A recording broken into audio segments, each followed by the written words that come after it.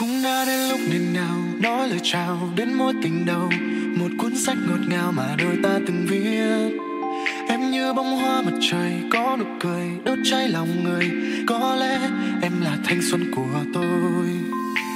Thì ngày mai tôi phải đi